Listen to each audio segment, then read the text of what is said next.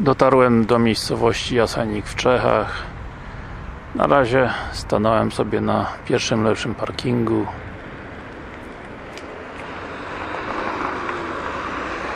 Centrum miasta jest w tamtym kierunku.